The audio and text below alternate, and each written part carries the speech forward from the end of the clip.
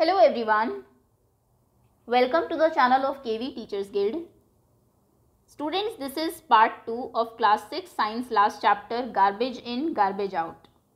इस चैप्टर के स्टार्टिंग के कुछ टॉपिक्स हम लोग प्रीवियस वीडियो पार्ट वन में कवर कर चुके हैं वहाँ तक चैप्टर आप सभी को समझ में आ गया होगा वो वीडियो आप सबने देख ली होगी remaining topics we will cover in this video तो चलिए स्टार्ट करते हैं so we were on page 159 topic था हमारा थिंक एंड थ्रो सोचिए और उसके बाद थ्रो करिए।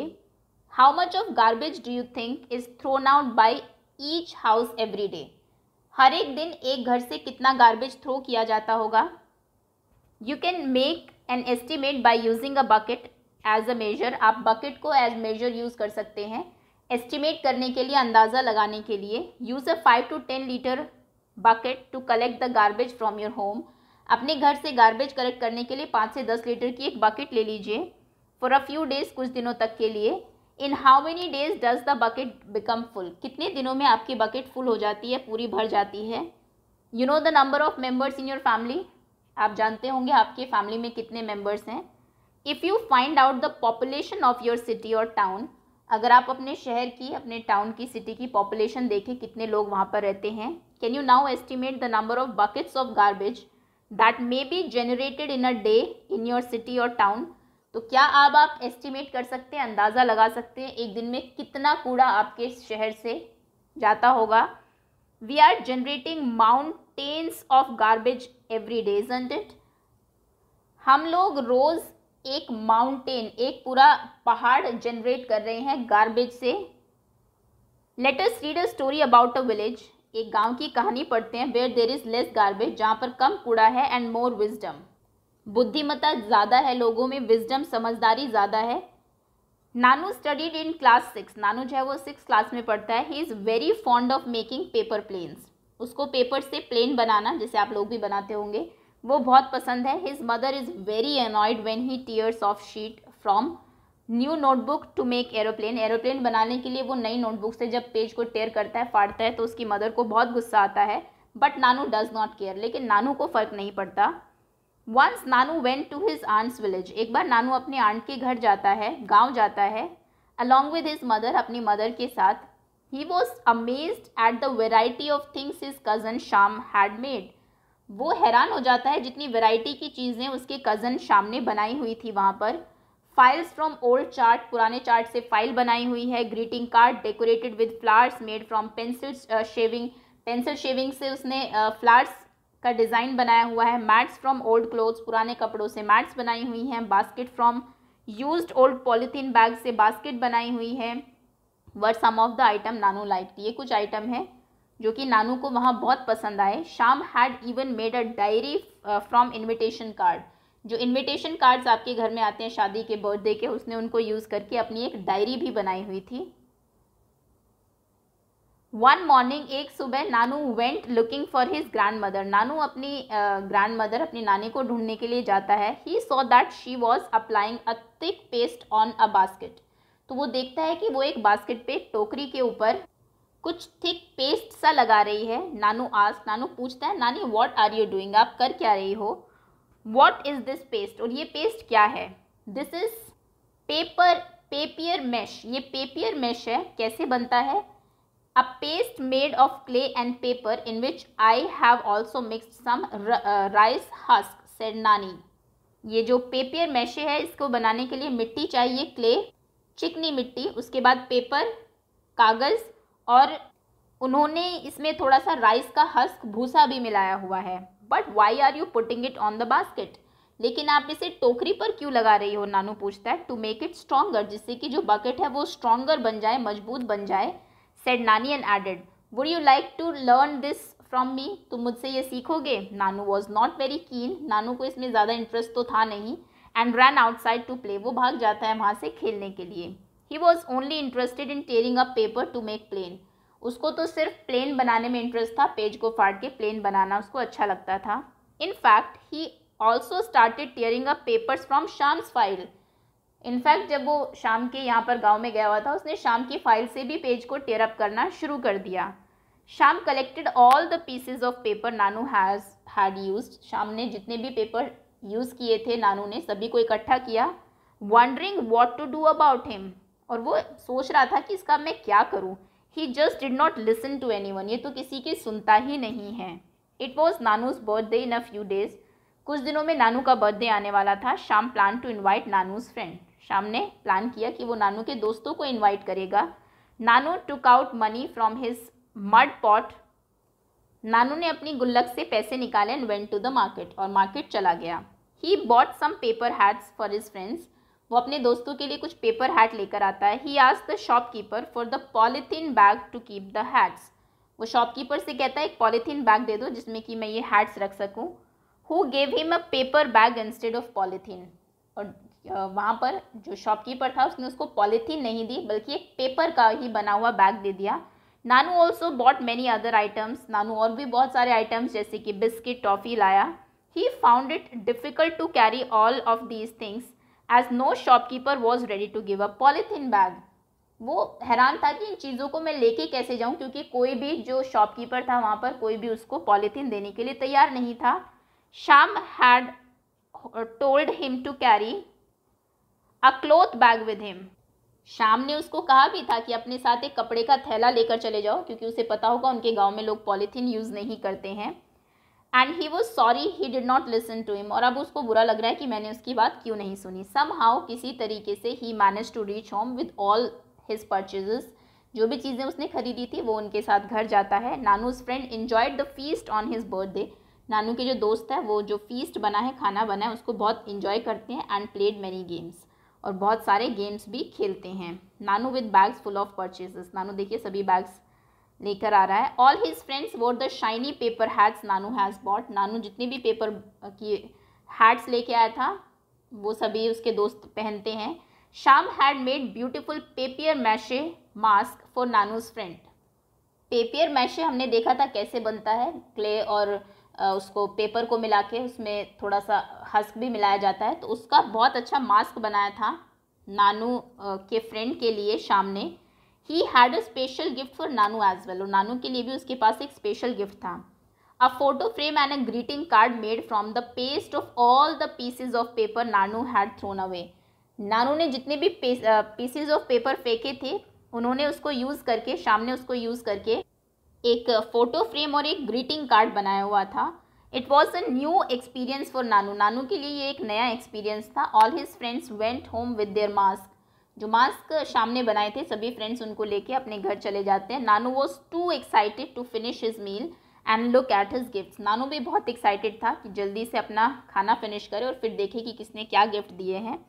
नानू रिटर्न होम नानू घर आता है। After his holidays were over जब उसके हॉलीडेज ख़त्म हो जाते हैं how different his town from Sham's village वो सोचता है कि उसका ये जो टाउन है, शहर है वो शाम के गाँव से कितना अलग है? There were no rag pickers in the village as it was neat and clean गाँव में कोई राग पिकर्स जो कचरा बीनने वाले होते हैं, आपने देखा होगा प्लास्टिक का थैला अपने साथ रखते हैं, कूड़ा उठाते रहते हैं। गाँव में वो भी नहीं है, क्योंकि गाँव में वहाँ पर सभी चीज़ें नीट एंड क्लीन साफ़ सुथरी है पहले से ही। But now he stop making faces when he saw the rag picking children near his school लेकिन पहले जब वो कचरा बीनने वालों को देखता था तो फेसेस बनाता था अब वो ऐसा नहीं करता क्योंकि उसको उनकी इंपॉर्टेंस समझ में आ गई है।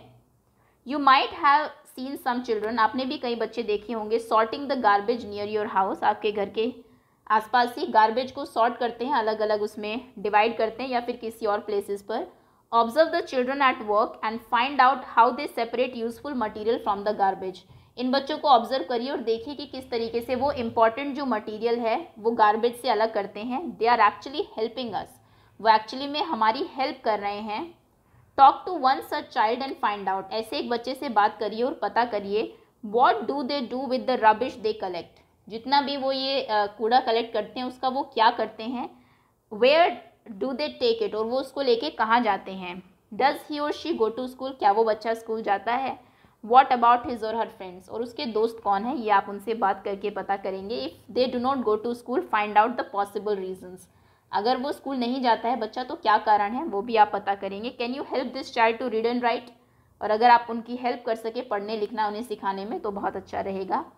Have you ever help at home to sell old newspaper glasses and metal things plastic bags and your old notebook to garbage dealer जो कबाड़ी वाले आते हैं कि आपने कभी उनको न्यूज़पेपर या फिर ग्लास मेटल की चीज़ें प्लास्टिक या फिर अपनी नोटबुक जो होती है वो कभी बेची है टॉक टू हिम उससे बात करिए and find out what it does with all the garbage इतनी सब चीज़ों का वो करता क्या है, ये उससे बात करके आप पता करेंगे। Would you like to make paper from old and discarded paper like Shyam क्या आप भी पेपर बनाना पसंद करेंगे, जैसे शाम पुराने पेपरों से?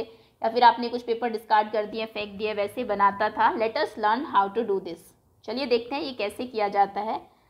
रिसाइकलिंग ऑफ़ पेपर पेपर की recycling you will require piece of old newspaper इसके लिए आपको कुछ पुराने न्यूज़पेपर चाहिए होंगे मैगजीन यूज्ड एनवलप्स नोटबुक या फिर कोई भी ऐसा पेपर जो यूज्ड है, ख़राब है. Do not use shiny plastic coated paper जो कुछ चमकदार पेपर्स होते हैं प्लास्टिक के शाइनिंग थोड़े से, उनको यूज़ आपको नहीं करना है.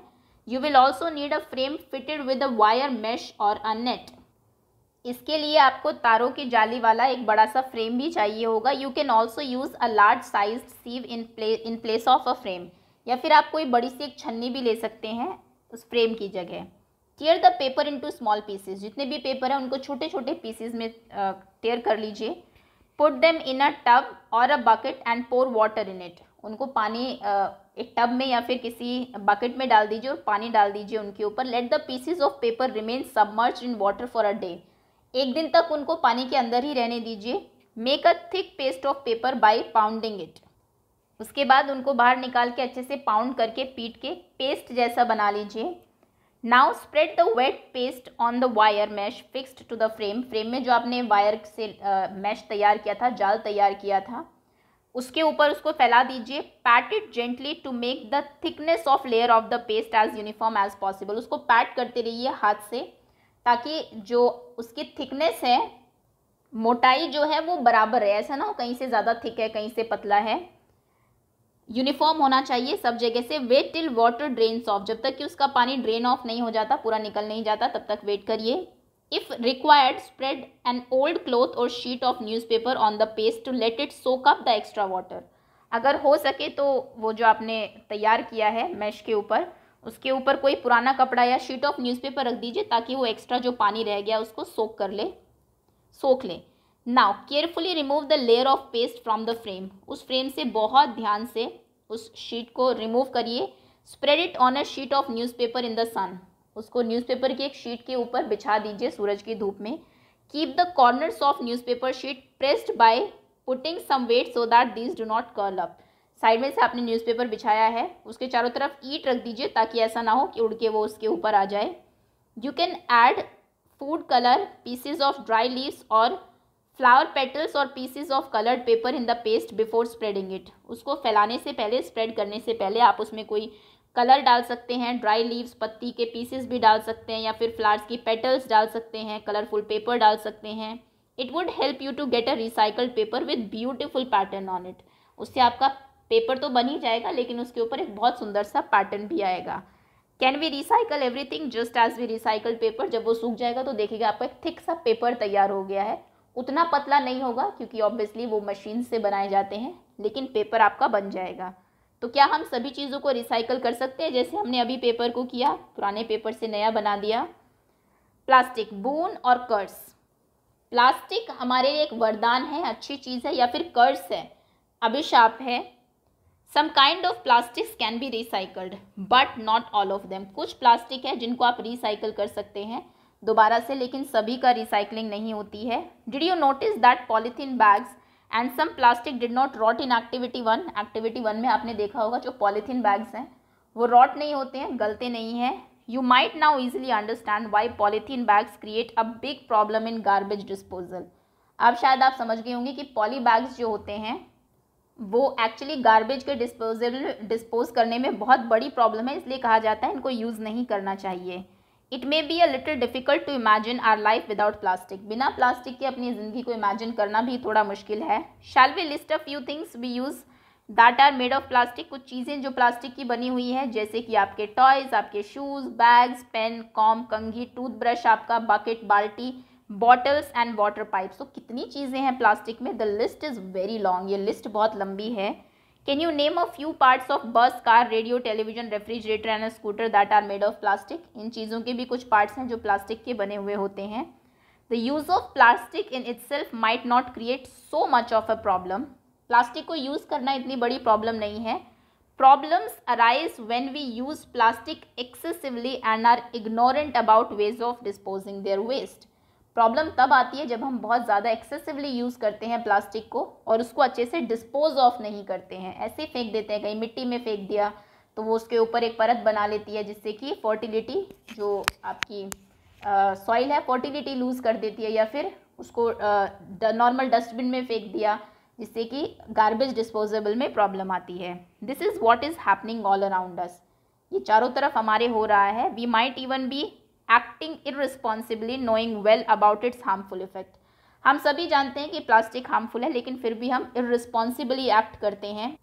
अपनी ज़िम्मेदारी, अपनी रिस्पॉन्सिबिलिटी इसके इसमें नहीं समझते हैं। We often use plastic bags to store cooked food items कुछ जो बने हुए कुकड फ़ूड आइटम्स हैं, उसको कई बार रखने के लिए स्टोर करने के लिए हम लोग प्लास्टिक बैग्स यूज़ कर सक, करते हैं। Sometimes these bags may not be suitable for keeping eatables कुछ जो प्लास्टिक बैग्स हैं, वो खाने की चीज़ें रखने के सूटेबल नहीं होते हैं, उनके काम के नहीं होते consuming food packets in such plastic bags could be harmful to our health आपकी हेल्थ के लिए हार्मफुल हो सकता है ऐसे प्लास्टिक बैग में रखी हुई चीज़ें खाना।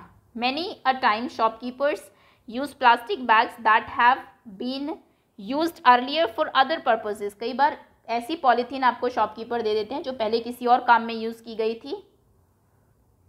Sometimes bags collected by rag pickers कई बार जो रैग पिकर्स आपके यहाँ होते हैं, जो पॉलीथीन इकट्ठा करते हैं, कचरा बीनने वाले लोग, वो भी यूज़ कर ली जाती है उनको धोने के बाद। Use of such recycled plastic bag to keep food items could be harmful for our health तो ऑब्वियसली उनको ऐसी प्लास्टिक को यूज़ करना हमारी हेल्थ के लिए काफ़ी हार्मफुल है। For storing eatable we must insist on the use of plastic bags that are approved for such a use अगर आपको फ़ूड आइटम्स को या फिर ईटेबल किसी खाने की चीज़ों को स्टोर करना है तो ऐसे प्लास्टिक बैग को यूज़ करिए जो अप्रूव्ड हो कि हाँ उसे इसके लिए यूज़ किया जा सकता है।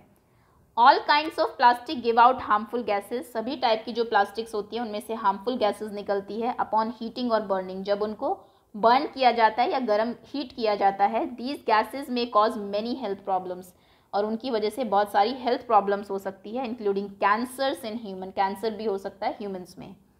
The government has also laid down guidelines for recycling of plastics government ने भी गाइडलाइंस इशू की है कि प्लास्टिक को रिसाइकल किया जाए। नया, नई नई नई प्लास्टिक प्रोड्यूस ना की जाए जो बन चुकी है पहले, क्योंकि ये ख़त्म नहीं होती, एक बार जो बन गई तो जो बन चुकी है उसी को ही यूज़ कर लिया जाए। पहली would like to suggest that containers use for storing poisonous substances should be recycle separately and that such recycle plastic are not use to make plastic bags okay पहले एक चीज़ सजेस्ट करना चाहती है, कुछ जो पॉइजनस सब्सटेंसेज होते हैं, जहरीली जो चीज़ें हैं, जैसे कि जो फर्टिलाइजर्स वगैरह जो है, जो अगर बॉडी के अंदर जाते हैं तो हार्मफुल इफ़ेक्ट हो सकते हैं। तो ऐसे जो प्लास्टिक है, जो इनको स्टोर करने के लिए यूज़ की जाती है, उनको अलग से रिसाइकल किया जाए। और जो खाने वाली चीज़ों को स्टोर करने के लिए प्लास्टिक यूज़ की जाती है, उनको अलग से रिसाइकल किया जाए। तो अच्छा सजेशन है पहली का। You must have notice that people often fill garbage in plastic bags आपने देखा होगा, लोग अपने घर का कूड़ा प्लास्टिक बैग में पॉलीथीन में रख देते हैं and then throw it away उसके बाद उसको फेंकते हैं। When stray animals look for food in these bags जब कुछ स्ट्रे एनिमल्स इन बैग्स में खाना ढूंढते हैं, जैसे कि गाय वगैरह जो घूमती रहती है सड़कों पर, वो इनमें खाना ढूँढने के लिए आती है। They end up swallowing these वो इनको स्वालो कर लेती है, इनको ऐसे ही खा लेती है। Sometimes they die due to this और कई बार इसकी वजह से वो मर भी जाती है, क्योंकि पॉलीथीन उनके पेट में चली जाती है। The plastic bags thrown away carelessly on road and other places get into drains and the sewer system जो पॉलीथीन लोग ऐसे ही फेंक देते हैं रोड के ऊपर वो कई बार नालियों में चली जाती है, सीवर सिस्टम में चली जाती है। एंड एज अ रिज़ल्ट उसका क्या रिज़ल्ट होता है? Drains get choked and the water spills on the roads नालियाँ बंद हो जाती है और वाटर जो है वो रोड के ऊपर स्पिल हो जाता है, फैल जाता है। ड्यूरिंग हैवी रेन्स और जब बहुत ज़्यादा बारिश होती है it might even create a flood like situation बाढ़ जैसी स्थिति भी बन जाती है। There is a lot of harm that too much use of plastic can do और भी बहुत सारे हार्म हैं। जो कि बहुत ज़्यादा प्लास्टिक यूज़ करने से हो सकते हैं। What can we do to minimize over use of plastic and deal with garbage हम क्या कर सकते हैं कि हम ओवर यूज़ ना करें प्लास्टिक का और गार्बेज से कैसे डील करें? कुछ सजेशंस आपको यहाँ दिए हुए हैं। सबसे पहले we make a minimum use of plastic bags plastic के जो बैग्स हैं पॉलीथीन उनका कम से कम यूज़ करिए। We reuse the bags whenever it is possible to do so without any adverse effect reuse कर लीजिए, एक ही बैग को नए नए पॉलीथीन बैग मत लेके आइए। बिना किसी एडवर्स इफ़ेक्ट के। मतलब कि इतनी बार भी रीयूज़ नहीं करना है कि वो हार्मफुल हो जाए उसको यूज़ करना फिर। We insist shopkeeper use paper bags insist करिए कि शॉपकीपर जो है वो पेपर बैग रखे प्लास्टिक बैग्स में चीज़ें ना दे। वी कैरी अ क्लोथ और a jute bag when we go out for shopping shopping के लिए अगर आप जाए तो अपने साथ अपना पेपर का बैग माफ़ करिएगा जूट का बैग या फिर कपड़े का बैग लेके जाए। We do not use plastic bags to store eatables कोई भी खाने की चीज़ें प्लास्टिक बैग में स्टोर ना करें। We do not throw plastic bag here and there after use use के बाद इधर उधर प्लास्टिक बैग्स को ना फेंके। We never burn plastic bags and other plastic item plastic bags को पॉलीथीन को कोई और प्लास्टिक का कोई भी आइटम हो, उसको कभी भी जलाना नहीं है। We do not put garbage in plastic bags and throw it away जब आप कूड़ा फेंक रहे हैं तो प्लास्टिक बैग में डाल के उसे ना फेंके। We use vermi composting at home and deal with our kitchen waste usefully आपके जो किचन की वेस्ट चीज़ें हैं, उसको वर्मी कंपोस्टिंग करके, उससे कंपोस्ट खाद मेन्योर बना लें। वी रिसाइकल पेपर पेपर को रिसाइकल करें। We use both sides of paper to write लिखने के लिए पेपर के दोनों साइड का यूज़ करें। We use a slate for rough work rough work के लिए स्लेट का यूज़ करें। We use blank sheet of paper left in our notebook for rough work आपकी किसी नोटबुक में लास्ट में कई बार खाली पेजेस बच जाते हैं लास्ट ईयर की कॉपीज़ uh, में। उनको रफ वर्क के लिए यूज़ कर ले। We make our family friends and others to follow proper practice for disposing different kind of waste अलग अलग टाइप ऑफ़ वेस्ट को कैसे डिस्पोज करना है उसके बारे में अपनी फैमिली फ्रेंड्स और बाकी लोगों को अवेयर कराए। Think about some other ways to minimize over use of plastic and discuss और क्या किस तरीके से आप प्लास्टिक के ओवर यूज़ को रोक सकते हैं? डिस्कस करेंगे ये आप। The most important point to know and think about is that सबसे इंपॉर्टेंट पॉइंट सोचने वाला ये है more garbage we generate more difficult it will be to get rid of it जितना ज़्यादा गार्बेज आप जनरेट uh, uh, करेंगे उतना ही ज़्यादा मुश्किल होगा उससे गेट रिड करना। तो मतलब कि कम यूज़ करें। तीन चीज़ें कही जाती है। Reuse reduce reuse and recycle ये तीन हमने पढ़ा इसमें। किस तरीके से उसको कम किया जाए? रिड्यूस करो पहले तो। कम ही गार्बेज प्रोड्यूस हो, ऐसी कोशिश करो। फिर यू रीयूज़ कर लो, जैसे कि पॉलीथीन है, एक को ही बार बार यूज़ कर सकते हैं आप। एंड रिसाइकल करिए, जैसे कि पेपर वगैरह, कुछ ऐसी चीज़ें हैं। So that's all students chapter इसी के साथ फिनिश होता है। होपफुली चैप्टर सभी बच्चों को अच्छे से समझ में आ गया होगा। Thank you so much for watching